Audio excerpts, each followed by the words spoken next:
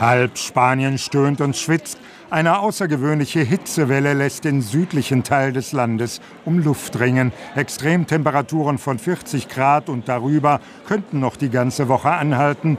Selbst für sonnenverwöhnte Spanier ist das Anfang Juni eindeutig zu viel. Das ist sehr ungewöhnlich. So eine Hitze haben wir normalerweise viel später.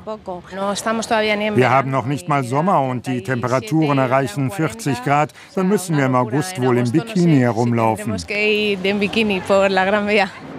In den betroffenen Regionen haben die Behörden Warnstufen ausgerufen. Gefährdet sind besonders ältere Menschen und auch diejenigen, die im Freien arbeiten müssen. Normalerweise erreicht das Thermometer Anfang Juni um die 30 Grad, doch nun färbt sich die Karte schon tiefrot ein. Diese Hitzewelle in Spanien ist außergewöhnlich. Zum einen, was die Temperaturen angeht. Die liegen zurzeit 10 bis 12 Grad höher als das, was wir normalerweise Anfang, Mitte Juni dort haben würden. Der andere Punkt ist, die Hitzewellen kommen in Europa immer früher. Wir erleben jetzt schon im Mai oder im Juni Temperaturen, die wir früher erst Ende Juli, Anfang August hätten. Für Spanien ist es die früheste Hitzewelle seit mindestens zwei Jahrzehnten. Erst am kommenden Wochenende sollen die Temperaturen wieder sinken.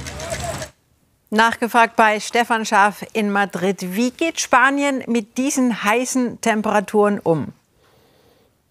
Es stöhnen natürlich alle Spanierinnen und Spanier, das äh, machen sie alle, aber jeder hat so sein Geheimrezept. Besonders beliebt ist der Gang in, die, in das Einkaufszentrum mit einer funktionierenden Klimaanlage. Manche Menschen fahren auch einfach länger mit der Metro, weil da die Air Condition funktioniert. So hat jeder so sein Rezept.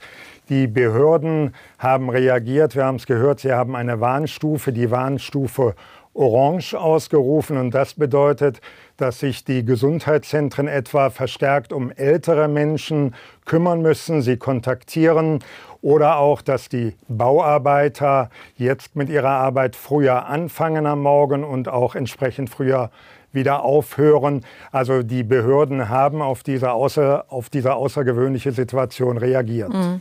Die Spanier sind ja diese heißen Werte eigentlich gewöhnt, aber nicht um diese Jahreszeit. Wer leidet denn besonders unter der Hitze? Das sind äh, vor allen Dingen die älteren Menschen, äh, die müssen aufpassen, dass sie einfach genügend Flüssigkeit zu sich nehmen.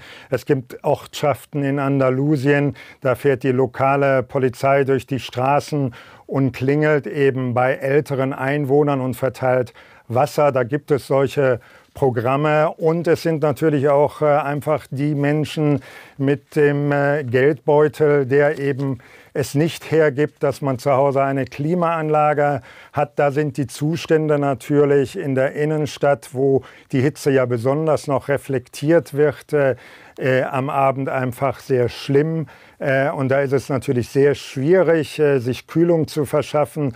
Und äh, Klimaanlagen jetzt mit steigende, äh, steigenden Strompreisen, das ist natürlich ohnehin ein schwieriges Kapitel.